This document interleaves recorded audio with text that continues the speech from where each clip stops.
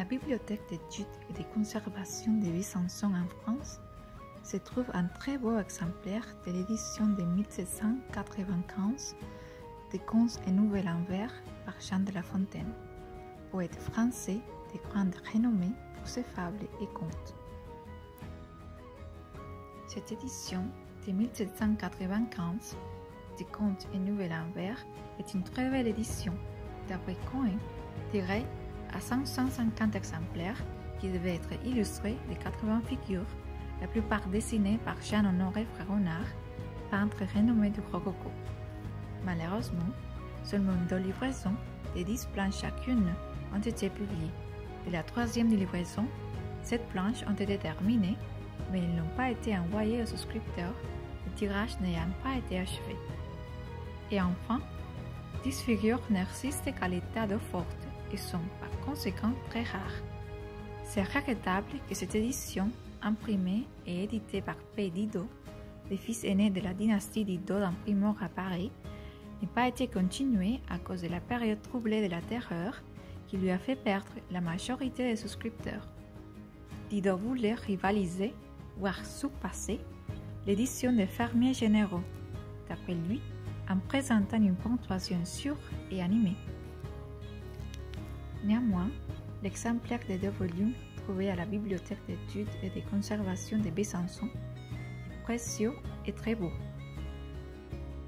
Un running cadre relié par Paul-Charles Allot en marocain rouge et papier marbré avec des coins aussi en marocain rouge. 2 à 5 nerfs, maison ornée avec mosaïque de marocain noir. Tirage sur papier vélan, papier de très bonne qualité, sans grains, et lisse, qui a la particularité de ne pas laisser apparaître de vergeurs, les lignes serrées et parallèles sur d'autres types de papier plus communs. Un des traits les plus intéressants de cet exemplaire, c'est les notes détaillées qu'on trouve dans les grattes blanches du premier volume, cataloguant toutes les illustrations et toutes les particularités de l'exemplaire.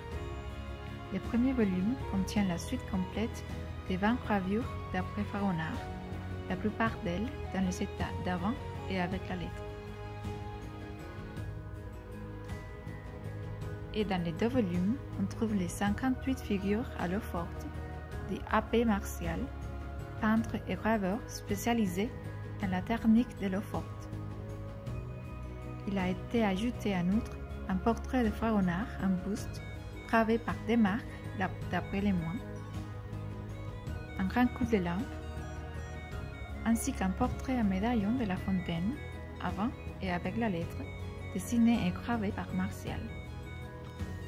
L'exemplaire inclut Cedor Sax Libris, qui montre que les volumes sont appartenus à Maurice Harley. Finalement, l'édition de 1795 des Contes et Nouvelles en vers par Jean de La Fontaine est un bel exemplaire en très bon état, dont les belles illustrations donnent vie au conte de La Fontaine à travers des dessins faits par les meilleurs peintres de l'époque.